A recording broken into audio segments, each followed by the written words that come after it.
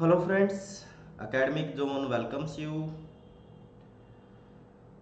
So today we are going to organize a quiz.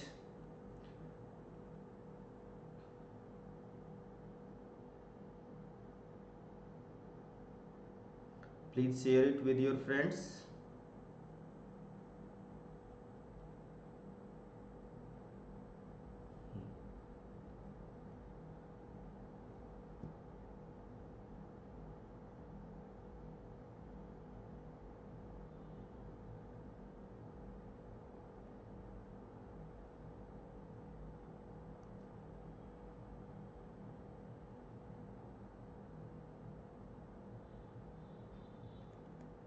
Yes.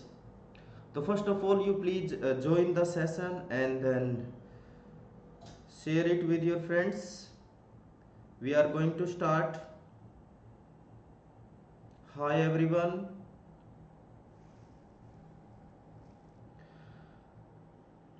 I have already uh, shared the questions with you through WhatsApp group so that uh, you can prepare yourself in a nice way.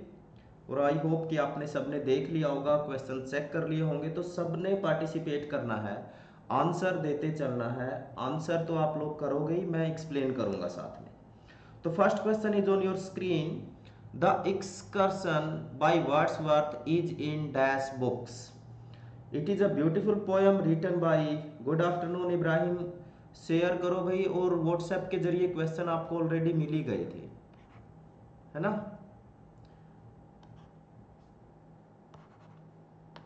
Just a minute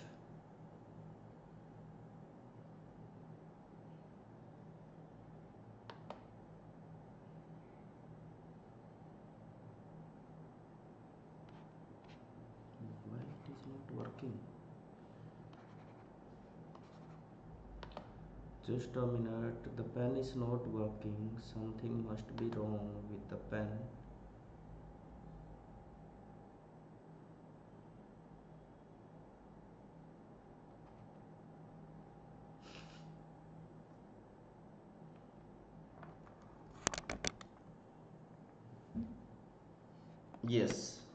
please uh, start answering the question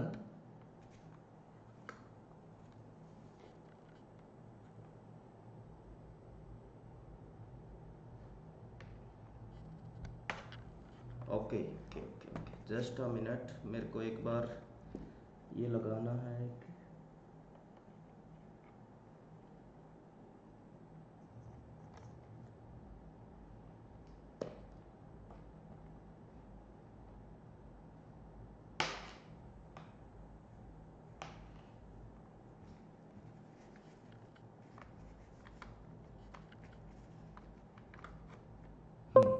yes now it is okay अब बनेगी बात, पहले कुछ दिक्कत थी।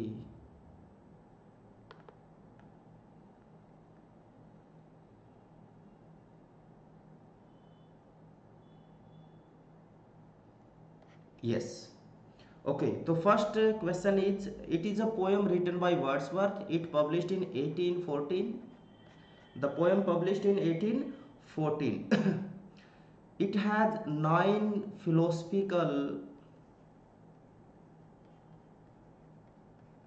monologues.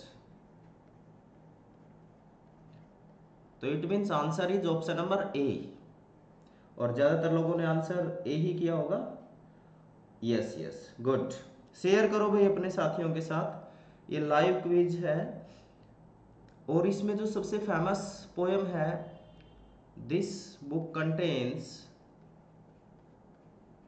A beautiful poem written by Wordsworth, Ruined Cottage. Ruined Cottage. तो this book has Seema NET का exam मुझे नहीं लगता अब अगस्त से पहले होगा कम से कम अगस्त तक तो जाएगा ही जाएगा तो इसीलिए ये बेटर अपॉर्चुनिटी है और मैंने एक वीडियो भी बनाया था ज़्यादातर लोग क्या करेंगे पढ़ना छोड़ देंगे ढीले पड़ जाएँगे तो वो आप लोगों ने नहीं करना है। तैयारी जारी रखनी है। तैयारी बिल्कुल जारी रखनी है, बिल्कुल नहीं आपने बंद कर देनी है। ठीक है? Eyeless in Gaza is a novel by. ये नोवल किसका है? Eyeless in Gaza. मैं थोड़ा सा बता देता हूँ तब तक इसके बारे में। द नोवल पब्लिश्ड इन भाई आंसर सभी करें, इसीलिए मैंने व्हाट्सएप ग्रुप में पहले ही क्वेश्चन आप लोगों के साथ शेयर कर दिए थे, ताकि आप लोग आंसर करते चलें एक्टिवली पार्टिसिपेट करें। और इसमें दूसरा इंपॉर्टेंट चीज़ क्या है? The title has been taken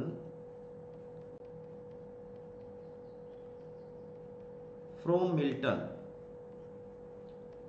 Milton's, Samson Agonistes who is blind Samson क्या है? ब्लाइंड है। और eyeless in Gaza. The phrase has been taken from Milton Samson Agonistes and the novel written by Huxley Aldous Huxley Aldous Huxley who is famous for science fiction? He is famous for science fiction. हाँ सुरेंद्र जी आप ना मेरे को इस नंबर पे WhatsApp कर देना, मैं आपको ऐड कर दूँगा। ये नंबर नोट कर लो। वैसे ही वीडियो के डिस्क्रिप्शन में व्हाट्सएप ग्रुप का लिंक भी ऐड कर रखा है, वहाँ से भी आप कर सकते हो। टेलीग्राम से भी जुड़ सकते हो। या इस नंबर पर मुझे पर्सनली व्हाट्सएप कर देना। I will add you in the WhatsApp group चलिए तो eyeless in Gaza written by Huxley Iris Murdoch थोड़ा सा बाकी चीज़ों के बारे में बता देता हूँ। फिलोसफिकल नोवलिस्ट है and she was the disciple of Sartre Jean Paul Sartre Jean Paul Sartre the only person who declined Nobel prize Nobel prize लेने से मना कर दिया था। पहला इंसान है जिन्होंने ऐसा करने से मना कर दिया जीन पोल सार्थर ने।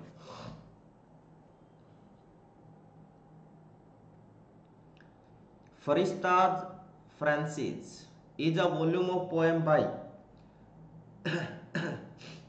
ये किसका पोएम है?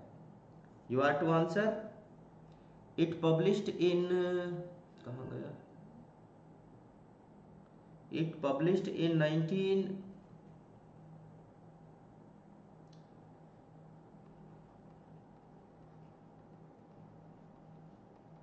1884 it published in 1884 or it has 12 parts the poem is written by browning robert browning. The answer is robert browning who is famous for dramatic monologues. Dramatic monologues. A victorian poet he is. Theme basically love and optimism famous poems my last duchess last ride together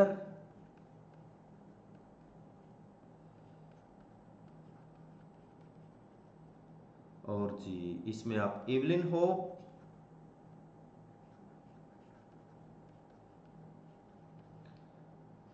you can write some more poems like Porphyria's lover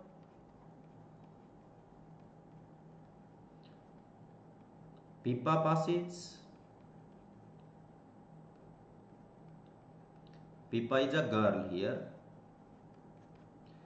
so such kind of the poems you might know. And the answer is option number A. Option number A इसका मतलब आप लोग पढ़े नहीं पहले. WhatsApp group में भेजने का क्या फ़ायदा लगा आपने? खोल के ही नहीं देखा क्वेश्चंस को. तो option number A is the correct answer Tennyson also a great Victorian poet Rossetti Shelley romantic age से हैं। Rossetti who is known for pre Raphaelite brotherhood pre Raphaelite brotherhood it was formed in 1848 ये बहुत बार question आया है। हाँ Rabbi Ben Ezra also written by Browning next question Frederick is dash in Shakespeare's As You Like It. As You Like It is a beautiful drama written by Shakespeare. A romantic comedy it is. Romantic comedy. As You Like It. Heroine is Rosalind. और Orlando. Lover जो है। Duke, sailor, king, nun. तो ये क्या है? Frederick is brother to duke senior. Duke senior के brother हैं ये। He is brother to duke senior तो ये क्या है? तो he is also a duke if he is a brother of duke तो he is also a duke और he is the father of Celia who is friend to Rosalind और जो रोजालैंड के साथ फॉरेस्ट फॉरेस्ट में भी जाती है। तो Rosalind disguised herself as a boy shepherd तो दोनों जो है फॉरेस्ट में जाती हैं। और फॉरेस्ट कौन सा है? Arden forest and in this play there is a beautiful song blow blow the winter wind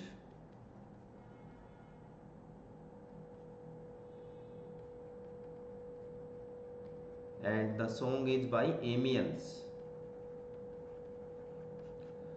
ये सारे के सारे क्वेश्चंस पूछे जा चुके हैं। Good afternoon Jyoti. भाई शेयर नहीं करते आप लोग। मज़ा नहीं आता इसलिए। और ना आंसर करते हो साथ में क्वेश्चंस का। सारे आंसर किया करो तो option number A is the correct answer.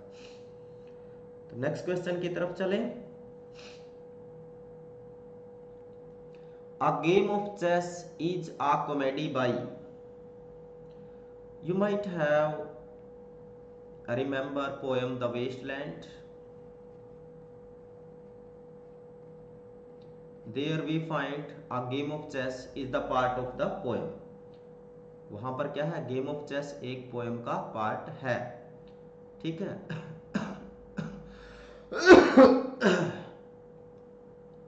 Total five parts हैं। Game of chess burial of dead death by water what the thunder said all the parts they belong to Waste Land लेकिन a game of chess is a comedy and comedy written by question ये है It's a play uh, published in 1624. It means we are talking about Renaissance period. तो Renaissance से ये belong करता है play and it depicts कहूँगे yes yes the conflict between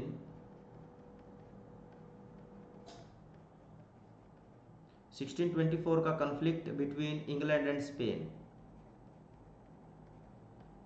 उसको describe करता है ये। ठीक है? The conflict took place in 1624 and the play written by Thomas Middleton Thomas Middleton the complete name is Thomas Middleton Christopher Fry ये T S Eliot के contemporary है who is famous for verse plays Christopher Fry is famous for verse plays Jyoti twenty century की अच्छा ये रहता है काम करेंगे एक दिन, ये भी करेंगे। ये आपका उधारा है मेरे ऊपर। Definitely I will return it Marlowe you know very well Jew of Malta Edward second Doctor Faustus Tamburlaine सारे जो है किसके प्लेज हैं मार्लो के प्ले तो चलिए नेक्स्ट क्वेश्चन की तरफ़ बढ़ते हैं और Gabriel Garcia Marquez was awarded Nobel Prize for Literature. He is from Spain. Spanish है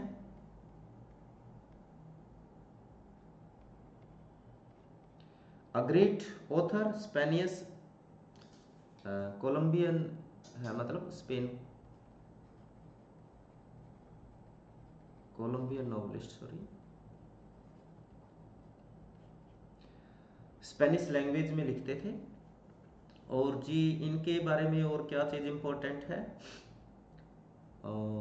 गैब्रियल गार्शिया के बारे में और हम क्या ऐड कर सकते हैं? दैट इज़ एक बहुत इनका फ़ेमस वर्क है। हाँ love in the time of cholera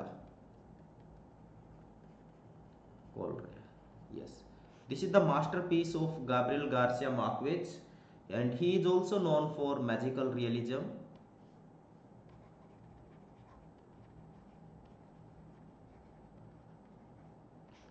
yes तो इनको नोबेल कब मिलता है? He got Nobel prize in 1982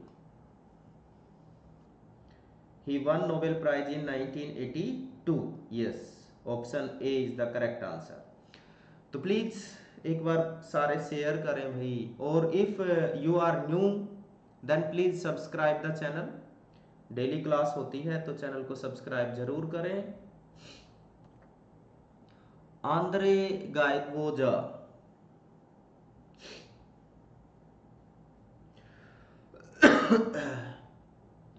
He's a French.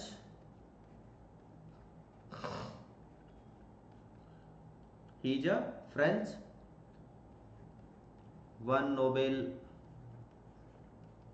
in 1947. Member of avant-garde movement. Modernist movement it is. Very prominent figure of avant-garde movement andre Gide option number a means he is a french option number a is the correct answer. Hmm yes. The gladstone gladstone sorry. The gladstone beast is the creature glaxont creature is the beast.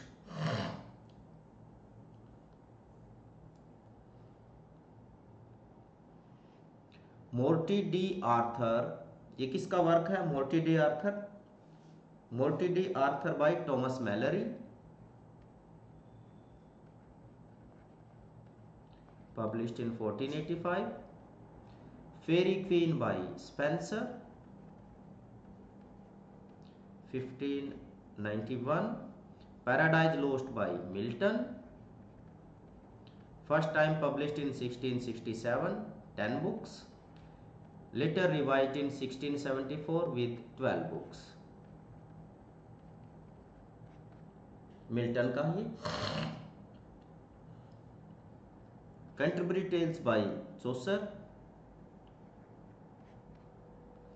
option number A is the correct answer Glatisant beast appears in Morte d' Arthur, written by Thomas Malory. Thomas Malory का जो work है, Morte D Arthur, उसमें ये beast appear होता है।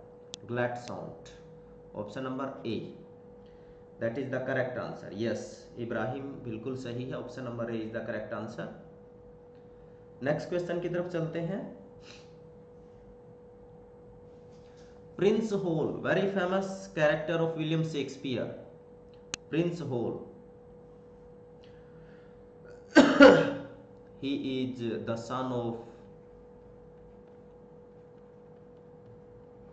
king Henry fourth king Henry fourth he is prince of Wales और Prince Hal की education को लेकर काफ़ी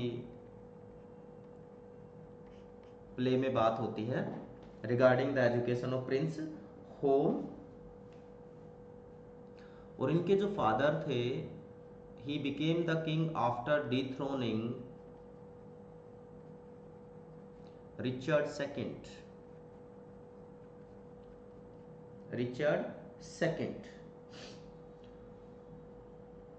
तो answer is option number A Henry fourth और हेनरी फोर्थ में भी यदि आ जाए तो part one first time he appears in Henry fourth part one written by William Shakespeare Hamlet Macbeth I think इनके बारे में बात करने की तो ज़रूरत नहीं होगी, आप इतना जानते हैं इनके बारे में तो।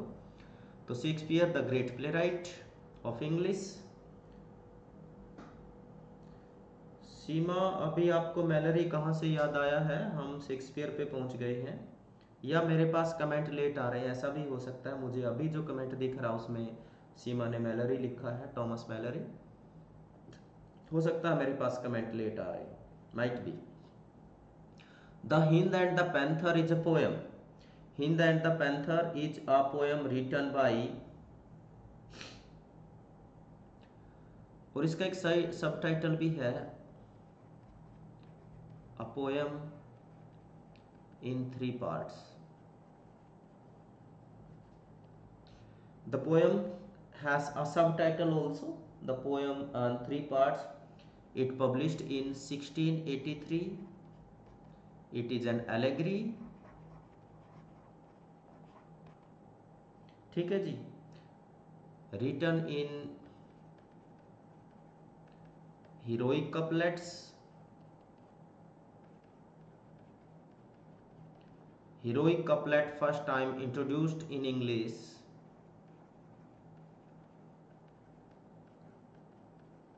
By Geoffrey Chaucer. Yes, and it is written by John Dryden. The poet is John Dryden. Yes yes Dryden yes अब आंसर करना शुरू किया आप लोगों ने तो Alexander Pope is famous for mock epic that is rape of the lock rape of the lock Rape of the Lock first time published in 1612 uh, sorry 1712 at that time only two cantos later published in 1714 with five cantos at this time supernatural machinery was added by Pope. Supernatural machinery. Ariel is a character there. Ariel और वहाँ पर supernatural character कौन कौन है? Ariel Ariel is their sylphs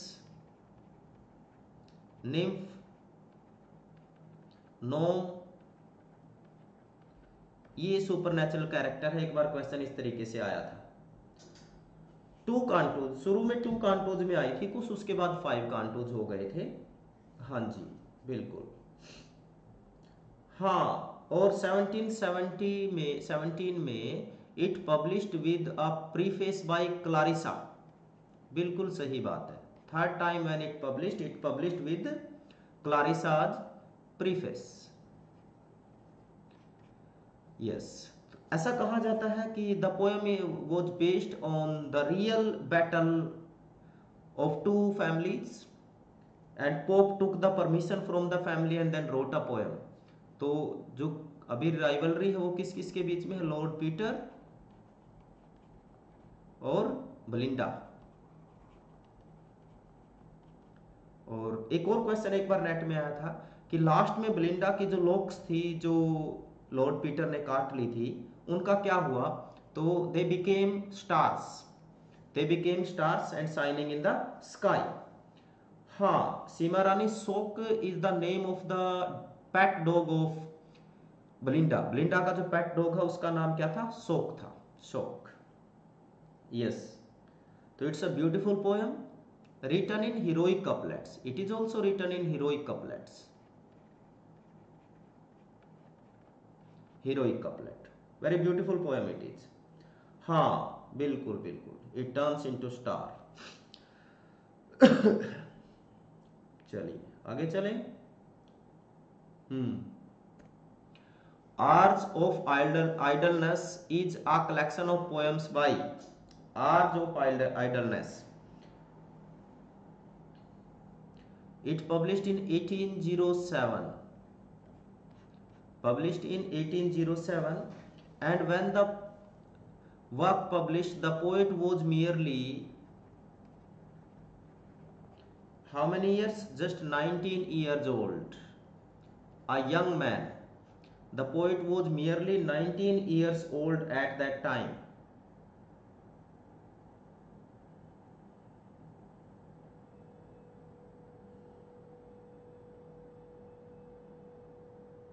okay Sonu, आपका channel है।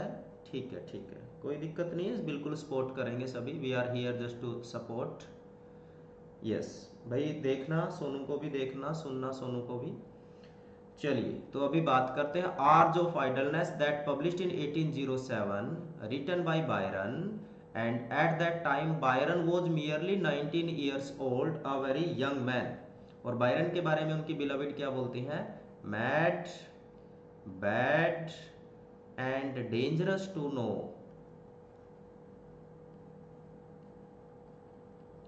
It is about Byron, who is famous for Byronic hero. And एक question net में कई बार पूछा जा चुका है कि भाई, रातों रात फ़ेमस हो गए थे बायरन वो कौन सा वाक था जिसकी वजह से रातों रात फ़ेमस हो गए थे? That was Childe Harold Don Juan is another beautiful poem by Byron. Byron was from Scotland, Scottish.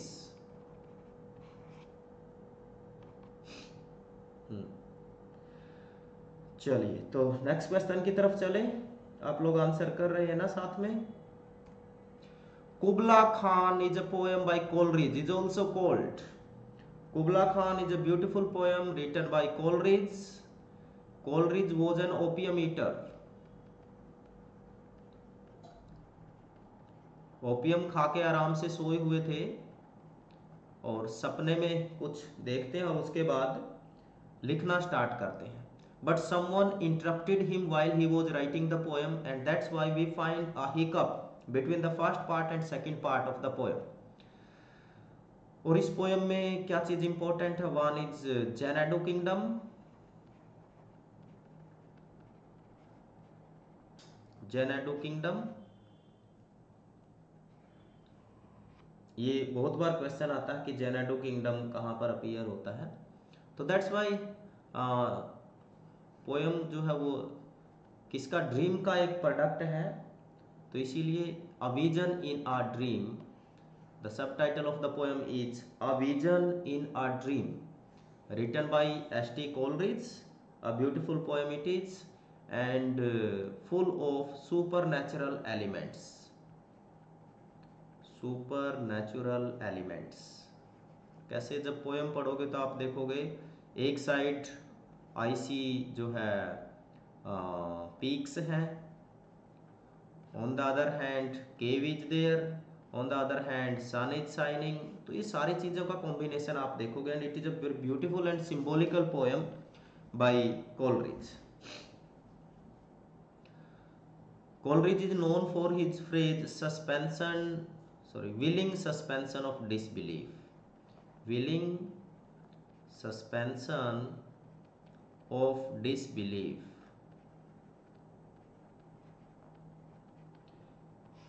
So this is the phrase coined by Kubla uh, yes. Quite important it is. Hmm.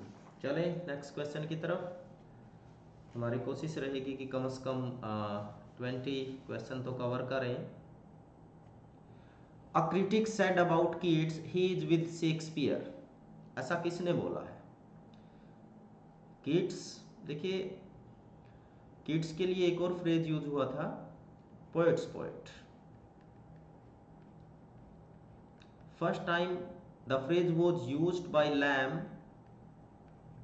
for Spenser poets poet later the same phrase was use by Matthew Arnold for John Keats when he was discussing touchstone method जिसमें वो चौसर को बाहर रखते हैं he find touchstone in Spenser Shakespeare Dryden. All these poets are there.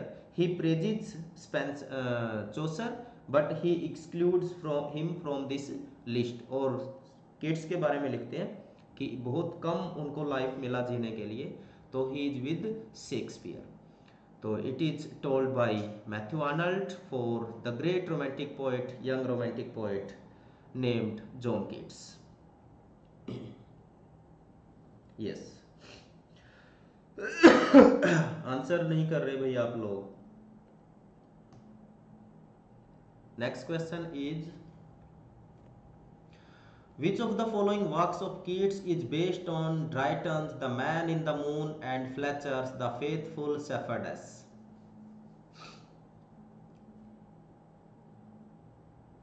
We find a poem by Keats where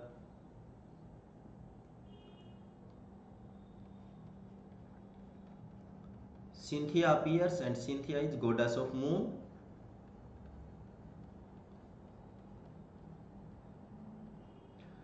a shepherd falls in love with her because he did not know Cynthia is not a uh, not an ordinary girl.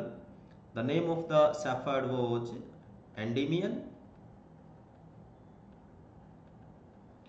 who lived on Mount Latmus.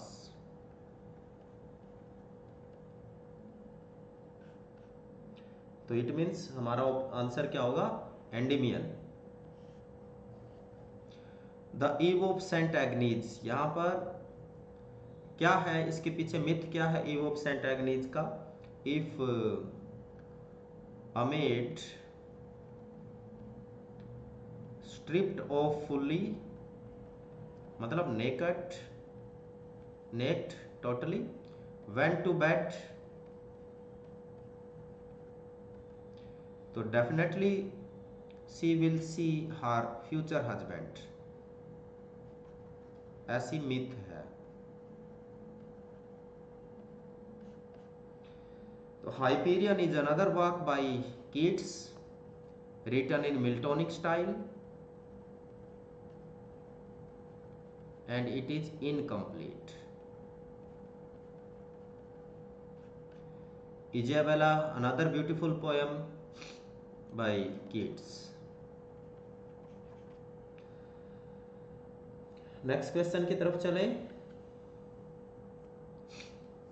Keats writes in the ode to nightingale where youth grows pale spectre thin and dies ये किसके बारे में बोला गया है?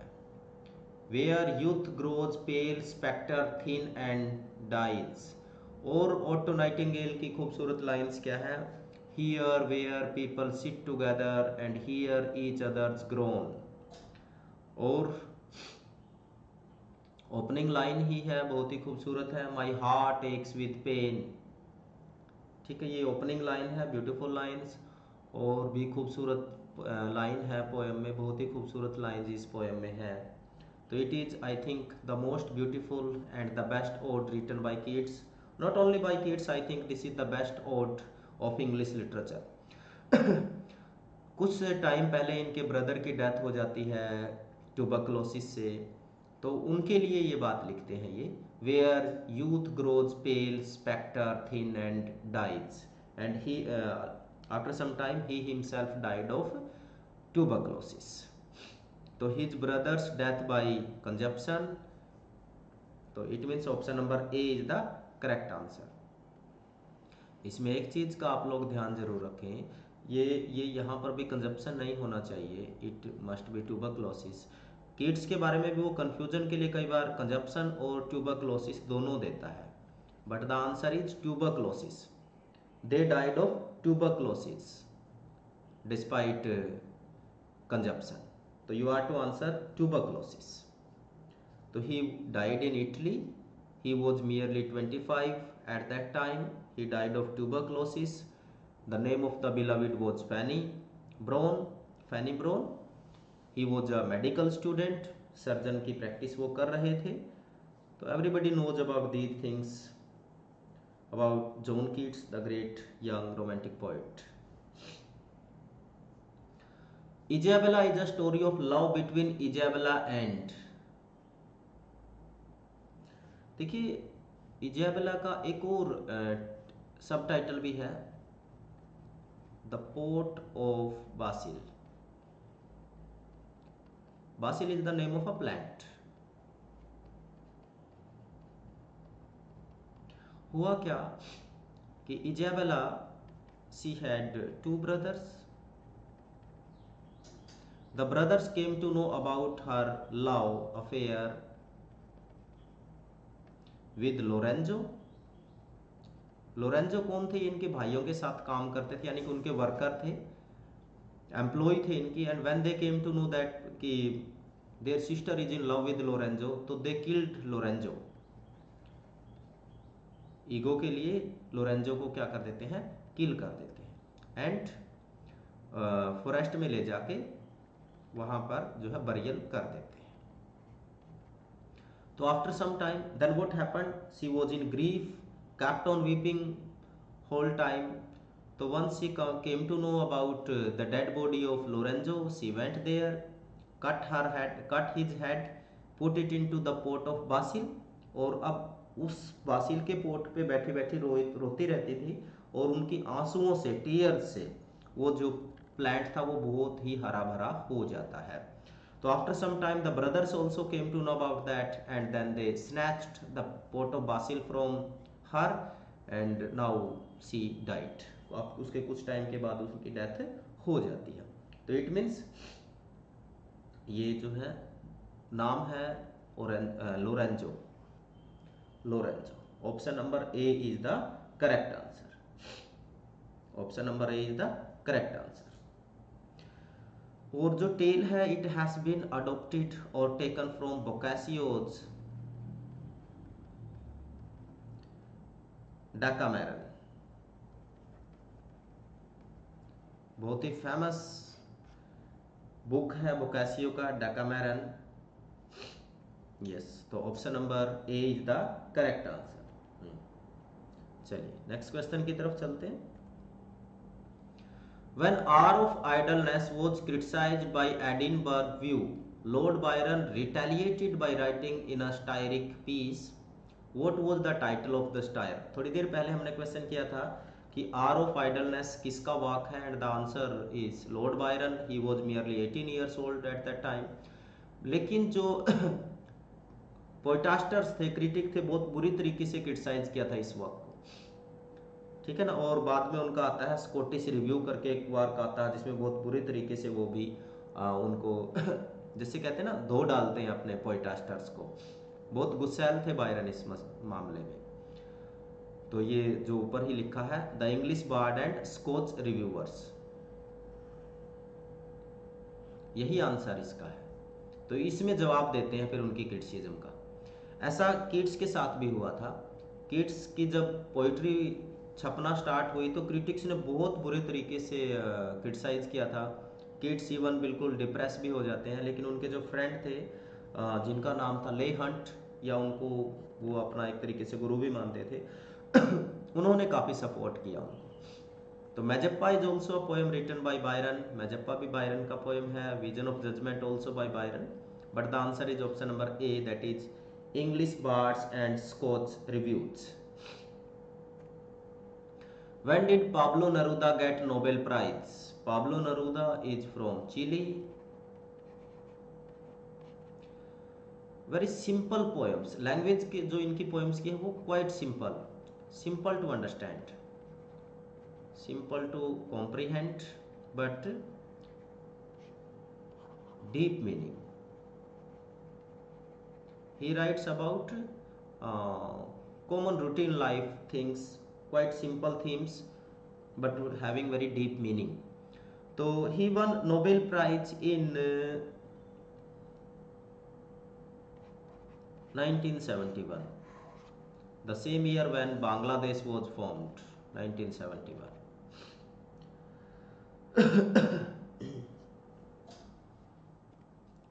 William Sydney Porter ये तो मेरे ख्याल से सबको ही पता होगा। William Sydney Porter a very famous short story writer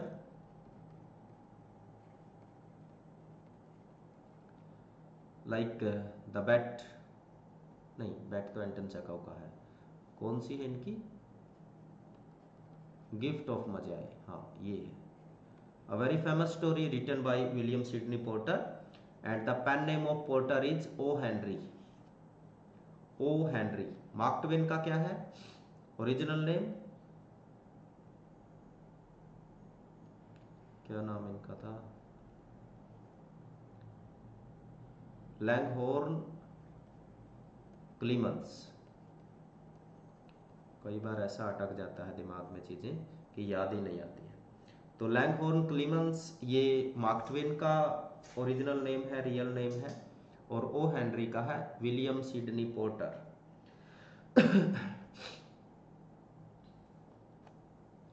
Who among the following writers was known as the Sage of Concord? एक मोमेंट था, ये रोमांटिक जो एज है अमेरिका का, उससे बिलोंग करते हैं ये। And there was a movement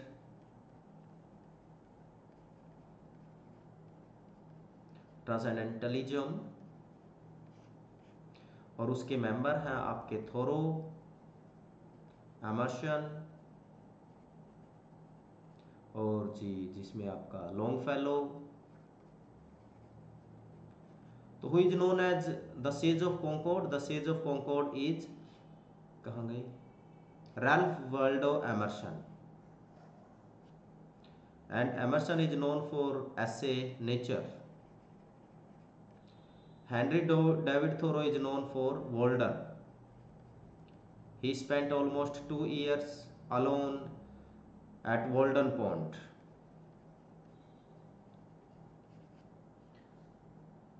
Civil disobedience इनका बहुत ही शानदार ऐसे है एक थोरो का। जो गांधी जी का भी हथियार बाद में बनता है civil disobedience a very prominent author तो फ्रेंड्स ये थे आज के कुछ क्वेश्चंस इसी तरीके से हम डेली क्विज करेंगे.